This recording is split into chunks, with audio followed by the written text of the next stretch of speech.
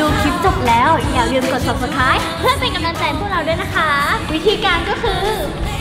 เข้าไปที่ช่องหนีเนื้อสตูดิโอกดติดตามสีแดง กดกระดิ่ง เลือกทั้งหมด เพียงเท่านี้ก็จะไม่พลาดคลิปใหม่ๆจากพวกเรากันแล้วนะคะ